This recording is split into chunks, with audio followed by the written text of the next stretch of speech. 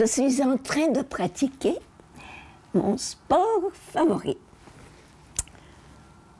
Choisir un conte à vous raconter. C'est un sport exigeant. Il y a des règles à respecter. Tout d'abord, il faut qu'un conte me touche. Sinon, je ne le touche pas.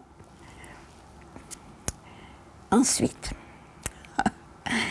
un conte doit m'apprendre quelque chose.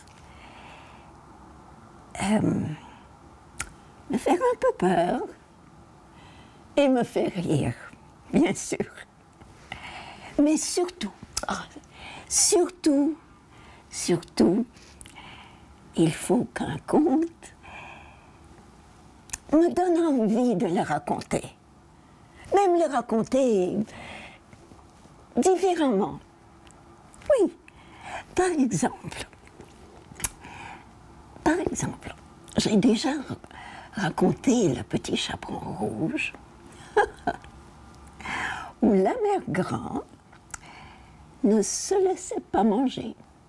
Mais non. Et quand je parlais de la galette et du petit pot de beurre, eh bien, je, je me mettais à chanter. Pourquoi pas?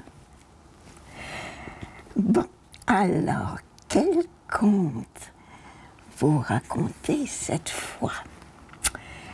Allons voir. Ah.